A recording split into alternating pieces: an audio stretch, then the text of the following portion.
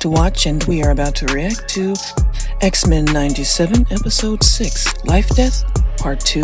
Let's get into it.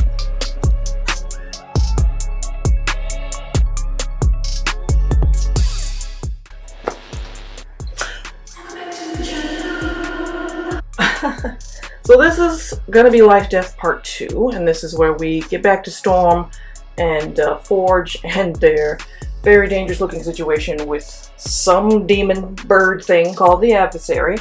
You shall not waste my meal.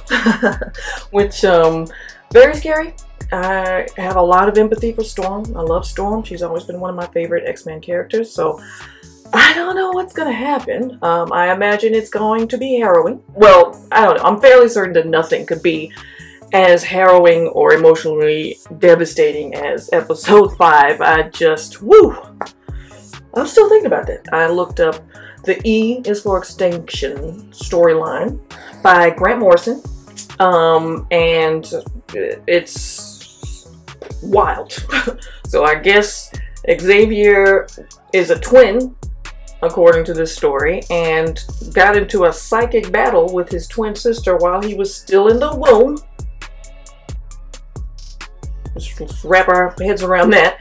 Um, she yeeted herself out of the womb. I, I, I, I'm really just trying to figure that out. I don't know how she survived. Yeah, that's fucking, it's freaking weird. And then she gets, she finds this facility somewhere in the jungle where they, you know, used to make sentinels. So she uses Bolivar Trask's like the, last people in his family to activate the thing, and then she sends the Sentinels to Genosha to basically massacre everybody there. Um, then ends up back at the X Mansion and essentially swaps bodies with Xavier before Emma Frost could take revenge for what happened at Genosha. So that is a really good storyline. I don't know how much of that is actually going to play out here, and I don't know everything, like I said, but you know, I'm just so intrigued and compelled by what's going on, like right in front of my face, because they're clearly taking elements from the comics, remixing them, you know, uh, mixing them together. So yeah, like they're doing their thing, and it's it's awesome. Let's go. Let us react to X-Men 97 Episode 6 Life Death Part 2.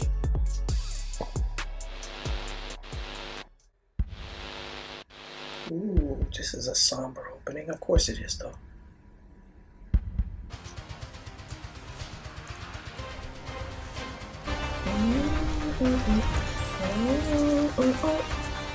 Oh, we're not gonna see Gambit in these credits! Oh no! There's no Gambit. Nightcrawler instead! Oh! And Cable. Cool. What the fuck is that?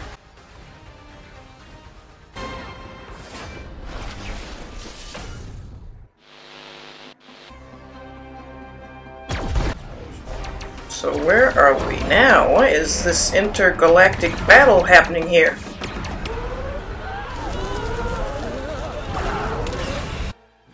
Surrender? No, just perish. Pigeon shall not thwart the will of the Okay, so these are creepy people. Who is she?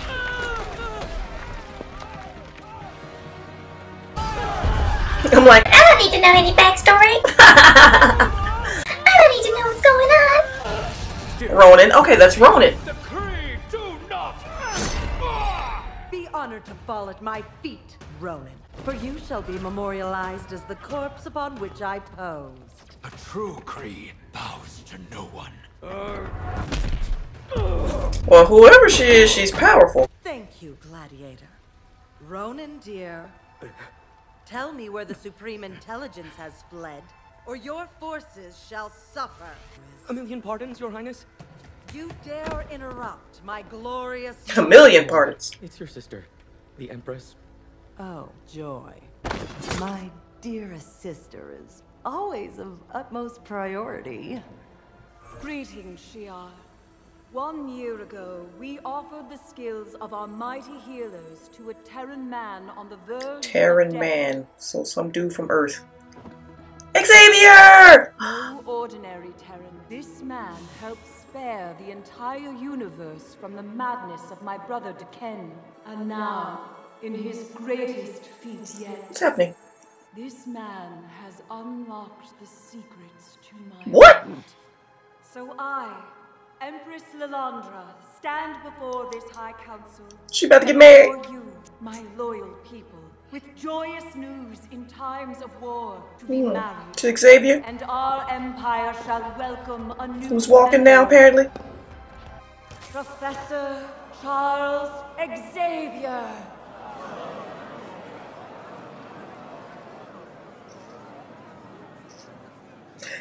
What you doing, Charles? To the might and glory of the Imperium. Hey, Ross Marquand. I pray our act of performative jingoism Not jingoism. concerns over my heritage. My subjects trust me when I say you are no mere Terran, Charles. Uh, yeah, alright, so I know I said I didn't need to know anything, but I definitely don't know anything about him having some romance with a lady. Perhaps an empress Empress. spend a portion of her time ruling the galaxy from my little corner of it. She's not going to The Terra handsome Bay. Emperor has much to learn about masking his manipulations. Families often mimic black holes. Visit and risk being stuck in its ever spiraling vacuum of dramas. Invite them to the wedding, Invite them to the wedding. unless you fear they'll think you've abandoned them. Once we crush the Kree, an educator such as you can teach them our ways. Play the role of the peacemaker. Wasn't aware my X-Men and I were playing make-believe. Much like my legs in this armor's exoskeleton. All ruling is make believe. Mm. pretend to be perfect, as my subjects would never love the woman beneath the armor. Not like you do. Never pretend. I like her. Will you at least consider Earth? I will. The virtue of a teacher lies in showing their students how to walk on their own. True. But only if he is sure there are no more lessons he can teach them. Is he trapped? Is she not allowing him to leave? Why bother? He's a liar. Forge made his bed. Let him die in it. All that So this is like an inner demon. Is this all in her mind? I've seen a couple of theories about that.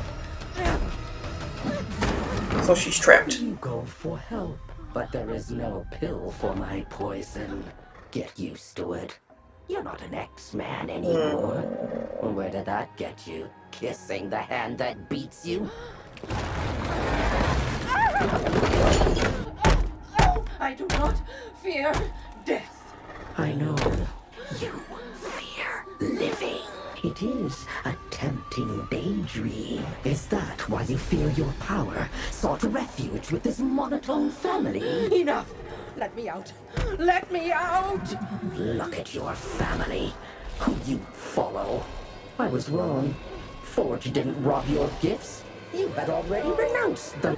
Lord of Chaos, Oh, he don't get up.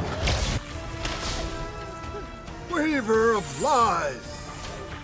I tear your thread and break your loom. Depart to the desert, demon. Depart. Is it really that easy? So that's it? That's over? Okay. Mom practiced desert magic. Careful. Your shoulder. You need a better bedside face, Doc. Its bite is magical. Perhaps your mother's book holds an answer. She wrote about a cacti, the midnight chala. Grows in nearby Midnight caves. Chala. Doesn't need I feel like I've heard of that before. Its aloe is powerful magic medicine. Then we ride together, my love. Oh, okay, well. That's uh that's settled then. The Empress and her royal consort.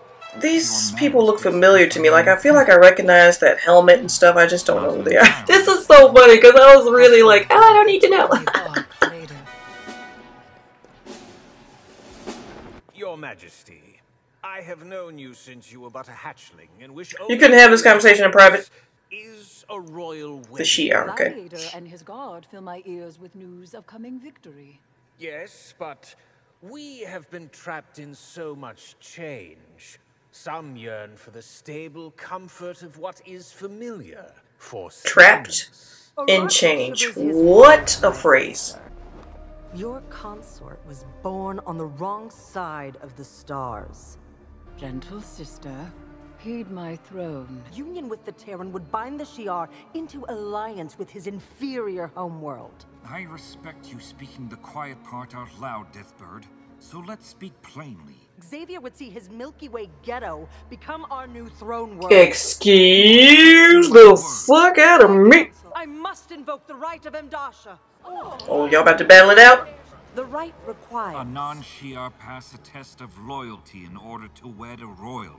I finished that volume my second day here, Deathbird. Not any mere test, Terran. A challenge of my own choosing. To renounce Earth and erase all memory of your life there. Hmm. And you, dear sister, must be the one. Oh, oh, she's a psychic. Damn. All right. Sharra and K'ythri. Our highest gods. Here I thought the Shi'ar looked down on art as a sign of insanity and deviance. In most cases. But the union of Sharra and K'ythri is In at the most core cases. of our principles. What is united if one half must be erased for the sake of the whole? Idealism is also a sign of insanity. I have a very old and very dear friend on Earth who would agree with you. His name is Magnus, and I wish to remember him.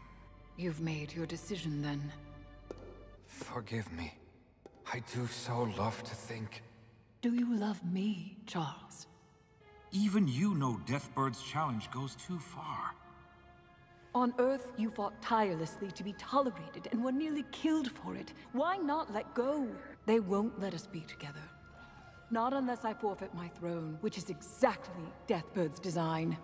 Imagine the chaos that my sister would unleash across the galaxy as ruler. Your devotion is beyond measure. Perhaps it is time to show you mine. I don't know, man. Maybe, maybe, may, maybe it is a good idea to go find like another civilization out in the stars somewhere that has evolved beyond the petty squabbles of humans. Cause I know I'm tired. Y'all tired? Cause I'm tired. Them build such a thing into the very foundations of your land. And they said that they were here to help.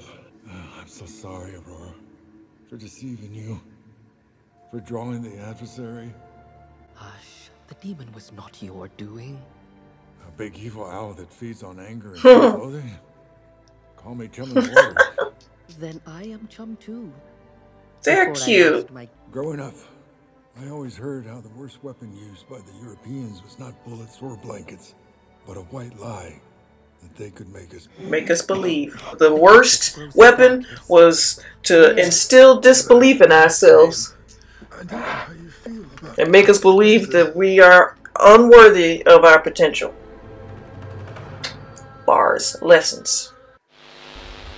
Charles Xavier, do you stand in our circle to complete the rite of M. Dasha? I do. And do you renounce all memories of Earth, of your life there, I do. and of your X-Men? Do you renounce your X-Men? See? He can't. He hesitates. He insults all Shi'ar. This was exactly my fear. My god, you are dramatic. we entrust our mighty that has endured for eons to a ruler descendant of simians. Have our blood mixed with his inferior freak fluids. My sister, like my brother D'Ken, has gone mad. Renounce her before her lovesick lunacy destroys us all. Sedition. Gladiator, arrest this treacherous vulture, and any who dare to stand with her. Hey, hey, hey! We got civil war. Oh shit! Oh damn. Okay, gladiator. Like him.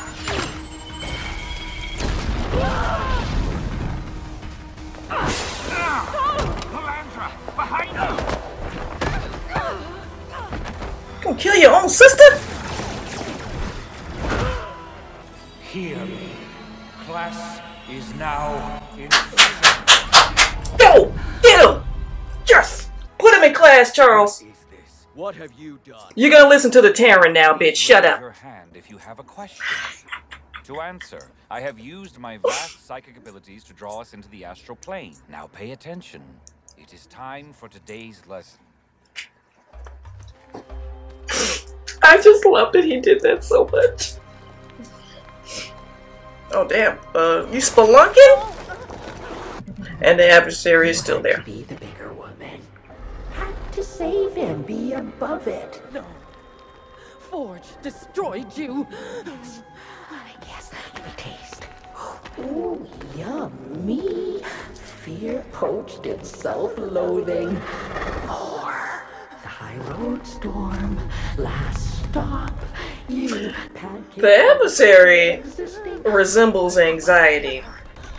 At least to me, because I live with chronic and very sometimes debilitating anxiety, and that is what it sounds like to me. Mm. No, you demon. Get it, Storm. Not a daydream. Get it! The executioner's neutralizer was not the only weapon tamping down my gifts. There was that lie, and I believed it. Be smart. Believe What's she doing? lie. Lay dead, or humanity will thunder down upon you and your kind. Go on ahead, Omega level! Let them thunder. I know that shit is right! For I am lightning. Yes!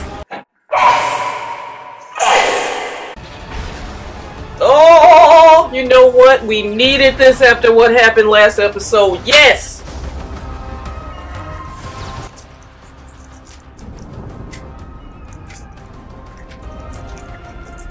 Oh shit! She going to space! Storm! Storm! Oh, baby. Oh, mama. Oh, yes, ma'am. Oh, yes, ma'am. Go ahead, baby.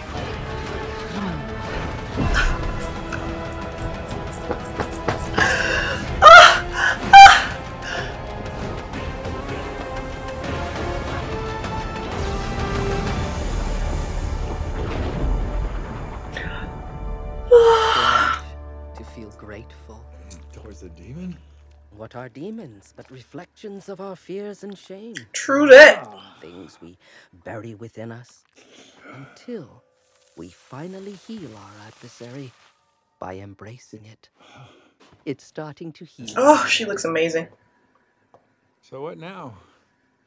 You've been given a second chance. Should we whisk away to some tropical island?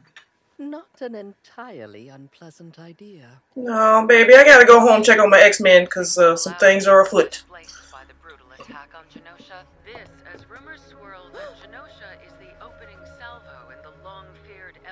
Yeah, baby, your family. You gotta get back to your family. Let's talk about power. Who can tell me from where the Shi'ar Imperium draws its might? From the crushed skulls that house inferior minds, such as yours. Wrong. Demerits Demerits. the power of your She is dramatic. In truth, a harvest of stolen worlds. You strike at the knees and claim you can help them walk again. Which brings us to this conclusion. The Shi'ar Empire is a snake oil racket. Might is right. The rhyme that sells the lie. That for me to be more, you must be less. Your existence against mine because Because, just because. who made up these silly rules? Who made up these silly rules? Beloved, playing make believe. That the universe is very old, and all of us Very young. very young. Ooh, Xavier. ancient Ooh. Stardust. Oh, what happened? Heavens, no! Who is sending these psychic visions? Or is he is he feeling the moment? Drinking wine, making love. Oh, my children, my children of the atom, destroyed. Yeah, he's feeling, he's feeling it. What happened? Oh gosh. What in the stars? I must return to Earth immediately. But we've nearly convinced the council. It doesn't matter. While I cowered in the cosmos, the unthinkable has happened. Charles, if you leave, you will prove my sister right about you. How? So be it. I will not abandon my kind. It is time I return to my X-Men. Wow. This shit is getting good, man. I gave you my DNA to access Master Mold. Are we getting Cassandra Nova? Kill me, please, for what happened in Genosha. I beg you. Don't take all the blame, Bolivar. Is that Sinister? Okay, it's Sinister. Why Genosha was merely the beginning of a prologue. You have nothing to fear and place your faith in Sinister.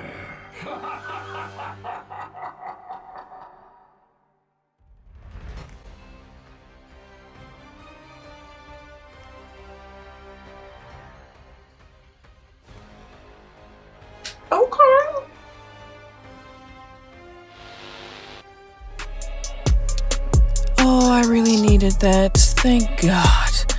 Great episode. I'm going to rate this an 8.5 out of 10. Let's talk about it.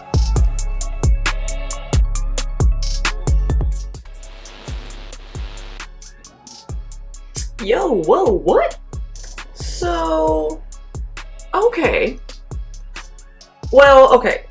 Let, let, let's do this in sections. Okay, section one. I really enjoyed the continuation, I guess, slash sort of wrapping up of the adversary Storm and Forge thing. Like, I just love that. I just, I just love that so much. I love that to pieces. I love that that was all in her mind. I love that it was just her inner demons basically telling her, hey, you got a lot to fear. But are you going to give in to that fear? Are you going to hide?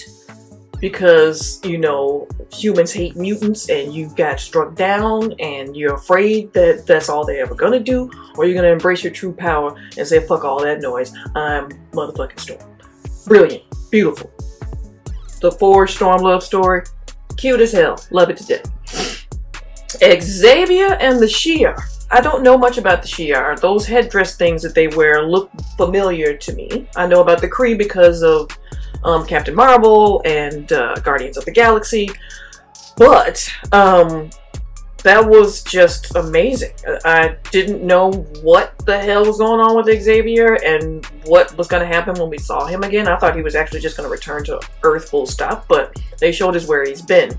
And I just love that little school lesson, that psychic school lesson that he taught them, and he called them dramatic. And yeah, I mean, you know, on the one hand, sure, humans are humans, but uh, Xavier's right. We are very very young. We we are so young when it when you think about us versus the universe. I don't know like the the nature of beings period um at least according to us humans seems to be that we're territorial and we cannot coexist um, without having without feeling the need to fight for dominance over each other, fight for control over each other, fight for supremacy over each other. Yeah, like those themes and lessons are always gonna be the part of all of this that that gets me. What matters to me are the the lessons, the case that this story is making for or against one human notion or trope. I like to get inside the heads of the characters. I like to get inside the hearts of the characters. I like to see what connects them, what tears them apart. That that's why episode five was so gut wrenching for me. Gambit was a, a a beautiful soul. The way that he loved Rogue, it was beautiful. Magneto, a very complex and well-written character. His feelings about humans versus mutants and the, the history and the past, his backstory of, of, of surviving the Holocaust and vowing to himself never again. Like that shit is powerful. Who he is as a person beneath the Omega level stuff that he can do is what appeals to me more. You know, Storm as a as a as a as a person grappling with fearing her own power. That shit is amazing. And then when she finally embraces it, that's the awesome part for me personally. Anyway, I loved this episode. It was amazing. It was the the right thing, a needed thing after the devastation, the emotional wreckage that episode 5 left in its wake. Um to see Storm coming out of it, to see Xavier being like, you know what, I need to go home to my X-Men. I need to go to my children. Y'all can have this shit, Shi'ar. I'm sure that they're going to come back around again. I'm pretty sure they're going to have to fight again. I'm guessing that Nightcrawler, since he was in the opening credits, he will have a bigger role in some of the other episodes because we lost Gambit. I'm really, really, really hoping that Cable is stuck in a time loop and then he's going to reverse it. Please. Um, so no Cassandra Nova replaced by Sinister. Mm, okay, I don't know. I don't know how I feel about that. I like Sinister, I guess, but I was really intrigued by Cassandra Nova. So, you know, it's kind of a pity about that. But um, I'm still having fun. I'm I'm enjoying this ride. Um, I'm to give this episode an 8.5 out of 10. It doesn't really hold a candle to episode 5, though. I'm sorry, it doesn't. But um, I really liked it. Thanks for watching. Um, and if you're new here and you like the channel, please like what you see and subscribe. Stick around. We're to be reacting to a lot of Invincible, a lot of X-Men, um, a lot of other stuff that I'm really, really excited about. So, peace, guys. Ooh. My master, what is bidding? That's my alarm. What is bidding? What is Anyway, peace, you guys.